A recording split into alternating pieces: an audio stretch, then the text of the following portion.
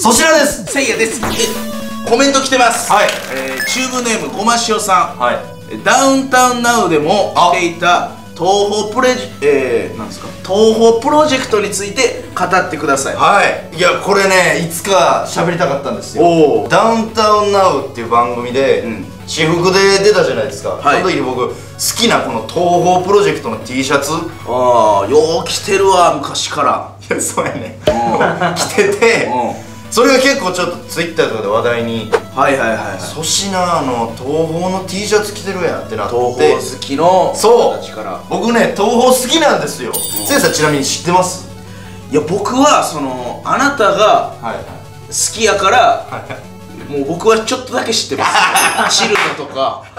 チルノいやそのなんか東宝 m 1グランプリみたいなのとか見てるいやお前の知識でちょっと調べたりしてた確かに。あーそう。5年前とかに「そう。なんやねん」みたいなんで俺も見た。パーフェクト算数みたいな。のああちょっと説明してほしい。あのね東宝プロジェクトっていうのはねゲームなんですよね。はいはいはい。えー、もともとパソコンのシューティングゲームです。はいはいはいはい。これがまたあのいろんな側面からこう、はい。それ音楽がいいであったりキャラクターがなんか個性あってみたいなんから、はいはいはい。だんだん書籍化されたり、へー。音楽 CD が発売されたりっていう広がりを見せてるのがこの東宝プロジェクト。なるほど。実際ゲームもやってたんですよ昔。ほうほうほやっぱりねあのボムがねうボム？ボム担当死ぬんが一番しょうもないから。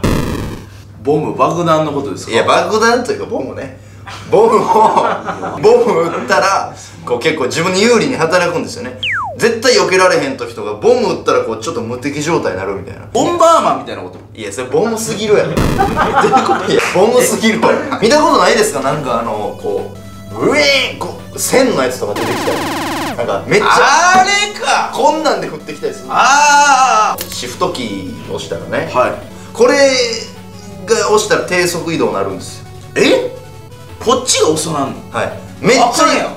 めっちゃなんでなんであっちは早いんやろ？いやだからねあなた時期でね。つく読みってことやろ？イタチの。何やつく読みナルトのいやいやそのお前の得意ジャンルで何がつく読みやねん。例えばじゃあはめっちゃ速いこうピョーンってこう。な例えが。これ喧嘩なるぞ。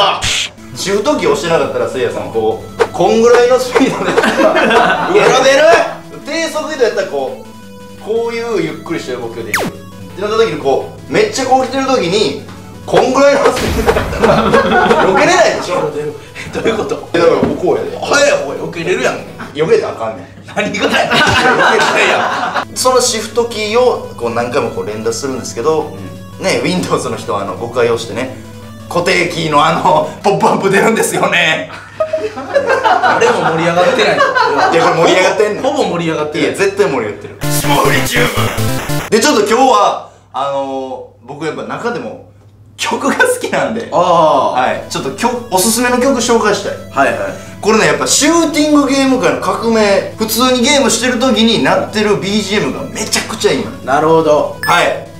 もうちょっと思い入れのある曲にしたんですが、うんうんはい、ルーネイトエルフうん。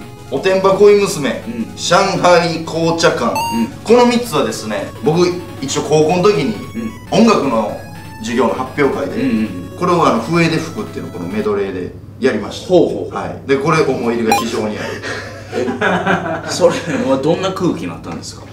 すっごい空気になってます 天空のグリーンッチはね出囃子でしたよ僕らの。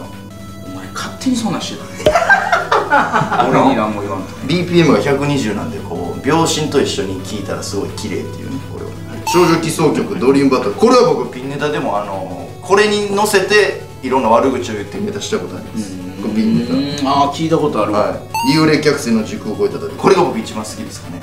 途中にねあのっていうね変な音鳴ってるんですよ。それはまあ録音した時のミスかな。なんかの音が入ってもうたっていう。以上。僕の好きな曲でした。えちょっと歌ってよなんか。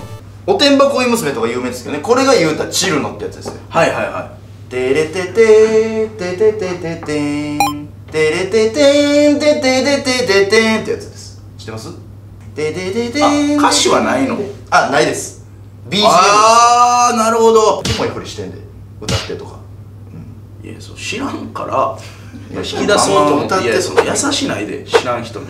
ずっと俺の方はパーフェクト算数教室歌ってやったら分かるけどおてんば恋娘やったらそのなんか流してとかそういう振りせんと？モテへんなこいつ